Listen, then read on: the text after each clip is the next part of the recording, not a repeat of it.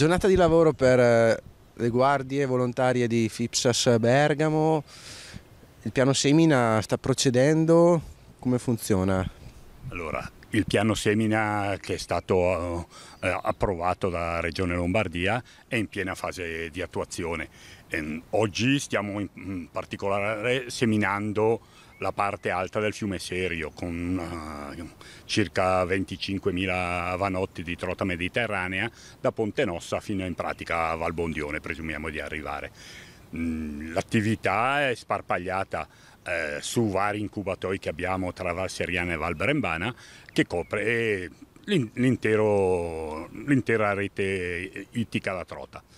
Mm, abbiamo già concluso le semine di marmorate per circa 50.000 marmorate che abbiamo prodotto quest'anno nei vari incubatori, mm, un numero un po' ridotto rispetto agli altri anni perché abbiamo avuto alcuni problemi, ma soprattutto eh, abbiamo fatto un ragionamento di analisi genetiche per migliorare la qualità di queste marmorate e quindi abbiamo scartato dalla produzione una serie di, di pesci che sembravano puri guardandoli ma in realtà erano Mm, si sono dimostrati ibridi di grado troppo alto per essere confermati in fase di riproduzione.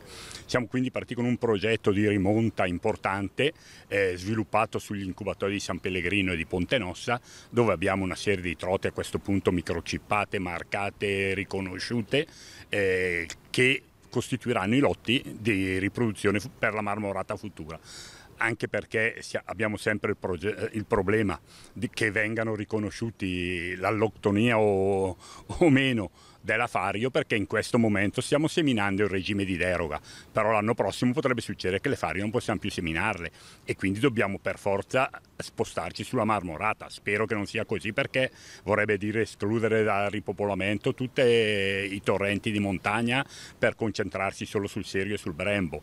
Però mh, mm, purtroppo dipenderà dalla legge, non siamo noi che... Fondamentale il lavoro delle guardie, ecco, chi vede sul territorio cosa state facendo, possiamo spiegarglielo.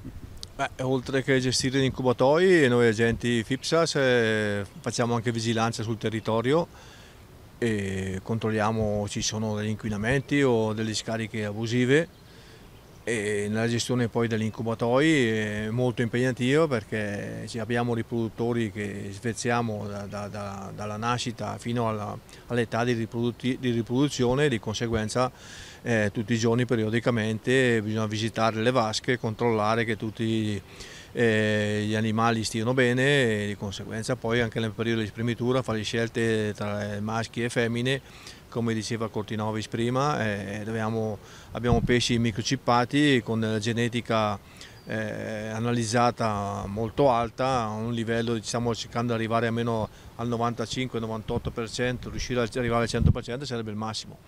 Però abbiamo già un buon livello di, di percentuale di, di pesci eh, con una, una, percentuale molto alta di, di genetica pura e stiamo eliminando appunto quelli, quei pesci che noi ritenevamo belli a vista ma geneticamente analizzati eh, sono stati riconosciuti ibridi e quindi da quelli non possiamo più recuperare le uova e anche il maschio liquido seminale. Portiamo avanti appunto questi pesci eh, con un'autoctonia molto alta di percentuale e speriamo in bene, insomma ci vuole un po' di tempo, un po' di anni di lavoro, però la volontà c'è.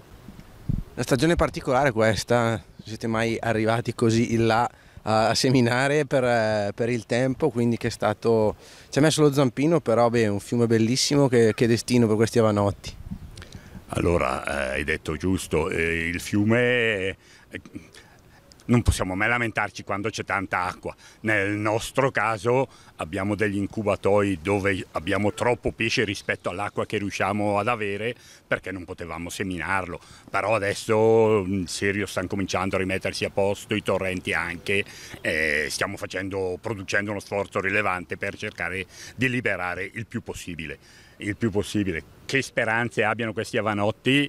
Eh, la speranza ovviamente c'è, abbiamo visto che nel corso degli anni dove abbiamo incominciato a emettere trote mediterranee che prima non c'erano, eh, si, mh, hanno attecchito perché la popolazione si è cambiata dalla, dalla vecchia trota atlantica che mettevano dappertutto, eh, si è trasformata in trota mediterranea e prima non c'era, per cui sono gli avanotti che abbiamo messo. Eh, Quindi, belle marmorate, eh. abbiamo visto che comunque dagli ultimi anni a venire abbiamo visto che i, i pescatori pescano dei bei pesci di marmorata e ci, ci, portano delle belle foto che poi questi pesci vengono anche rilasciati, quindi vuol dire che il nostro lavoro che abbiamo fatto in questi anni di rilascio di, di avanotti di marmorata sta portandosi avanti un bel, un bel progetto. Insomma. Nel fiume Serio era praticamente fino a 4-5 anni fa quasi impossibile catturare una marmorata, era quasi impossibile.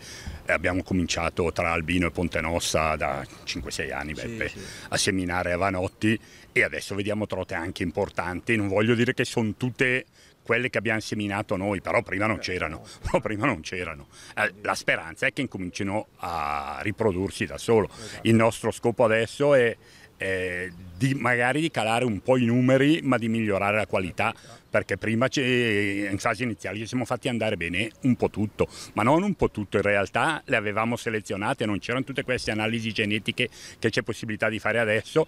Le selezionavamo dal punto di vista fenotipico cioè guardavi un pesce questa è una marmorata pura, eh, per, purtroppo... Sì, anche per noi che facevamo vigilanza, di conseguenza il pescatore pescava una marmorata e pescare l'ibrido era sempre difficile capire se era in sanzione o non era in sanzione perché la Fario ha una misura e la marmorata ne ha un'altra e quindi adesso invece vediamo che nel fiume ci sono esemplari veramente puri di marmorata, belli, sani, perché facciamo analisi anche nei recuperi in loco sul fiume, preleviamo del tessuto, viene microchippato un pesce, è un progetto che sta sviluppando in, in Val Brembana, eh, questo pesce nelle zone di, di, riserva viene rilasciato e viene analizzato poi dall'ASL l'esame che è stato prelevato dal pesce si capisce che il pesce è, un, è, autoctono, è un buon pesce, è una genetica alta e quindi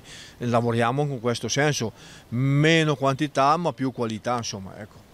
Anche perché l'auspicio è sempre eh, che noi possa, si possa essere di supporto alla riproduzione naturale, ma non vogliamo sostituirci. Eh, dopo ci sono annate come questa, che purtroppo la piena che ha fatto a febbraio avrà, se non azzerato, fortemente ridotto quella che è stata la riproduzione naturale, perché sicuramente quella piena lì ha portato via le uova e le larve. Per quello che ci sono anche gli incubatori per dare un ah. aiuto al fiume che in queste situazioni esatto. viene a mancare. Esatto, perché il fiume ha una capacità riproduttiva elevatissima. Il problema è che la stagionalità delle piene non è più quella storica che faceva la piena ai morti e poi fino a maggio eh, restava tutto tranquillo. Adesso purtroppo la piena ti capita dentro a gennaio-febbraio che vuol dire azzerare la riproduzione naturale. Che avviene in quel periodo lì. Associazione Pescatori Bergamo convenzionata FIPSAS, ecco il lavoro dei volontari quanto è importante è fondamentale, eh, non, non, avendo dipendenti dipendiamo solo dai volontari, per cui abbiamo il nostro gruppo di guardie ma anche volontari al di fuori delle guardie, di, mm, quelli che ci sono all'opera stamattina eh, non sono tutte guardie FIPSAS, eh, è, per noi è fondamentale, quando dobbiamo andare a seminare, quando ci devono segnalare dei problemi, tutti i nostri tesserati, ma va bene anche se non fossero tesserati, se c'è un problema non è detto che riusciamo, noi a Bergamo non lo possiamo sapere di sicuro, non è detto che una delle nostre guardie lo possa rilevare, ma il pescatore che è sul fiume lo rileva è una sentinella. sentinella. E di conseguenza ogni sentinella può dare il suo contributo.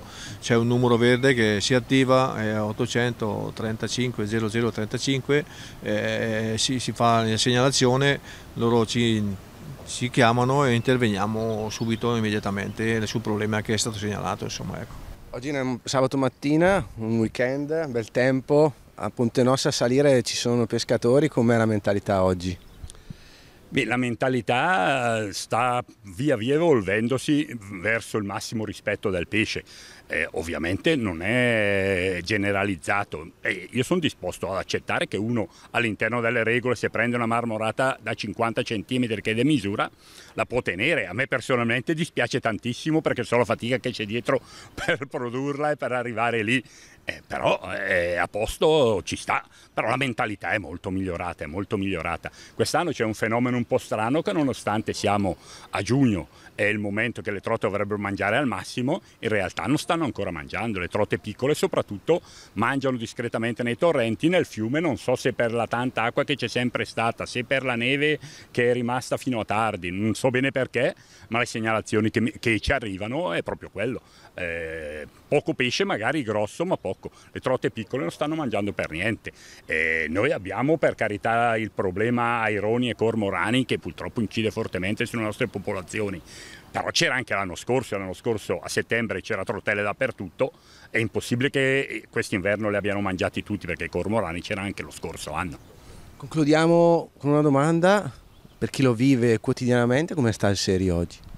Ma allora, serio non ci possiamo lamentare. Eh, sicuramente quelle piene che, che, che vengono non, non, fanno bene al fiume, però eh, la natura non la comanda nessuno. Di conseguenza eh, noi possiamo solo che limitare i nostri discariche che ci sono, i fognari, eh, le pulizie, tenere in ordine e controllare praticamente che non facciano abusi sul fiume e, e quant'altro però la natura fa il suo percorso e però vediamo che il fiume si è ripreso bene ultimo in questi giorni, poi è bellissimo, in colorazione e tutto. Dopo l'avvento del concetto del deflusso minimo vitale, effettivamente il serio è rinato, perché prima era normale che ci fossero dei tratti in asciutta, adesso un tratto in asciutta non, non esiste, non può succedere e quindi comunque la vita nel serio è garantita e comunque continua. continua.